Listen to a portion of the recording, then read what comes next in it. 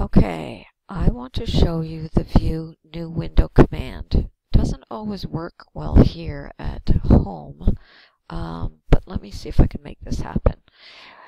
So we're going to go to view, ribbon, and we have the new window command.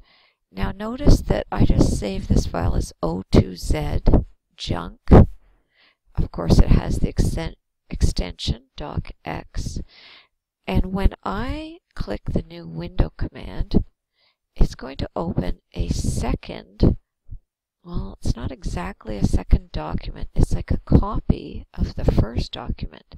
I'll just pull it down here so you can see that the one that it opened is the exact same, but it has a 2 right here. So this is only a temporary copy.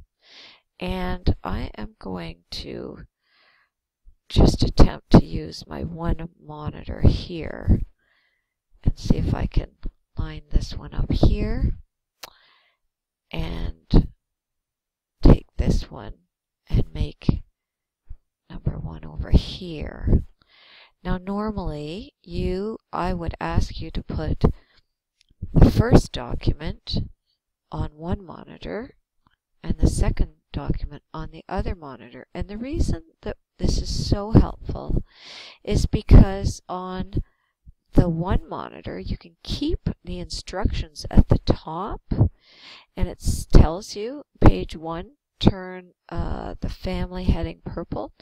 And I'm going to work on the second copy here. So you're going to pretend that this is your second monitor and you're going to come over here and you're going to make that purple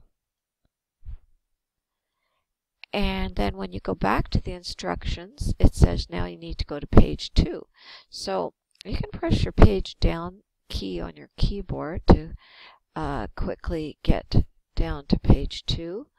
And then when you click into it on your status bar, it will tell you page two of two. And look for William Shakespeare's Plays right here. And it tells you to underline it and you can go ahead and select it and underline it. And then page three, I'm just going to scroll down to page three and you see the word intro. So the reason this is so handy is because whatever you do on the second copy, you can see that it's happening on the first copy. It's all the same document. It's just displayed in two different windows. And when you close the second window, so let's finish bolding this on this second window here. And I'll even do the last thing here on page four. Uh, underline this one. So I have a lot of exercises that you need to navigate uh, through the document and sometimes you need the instructions to stay and that's what this is good for.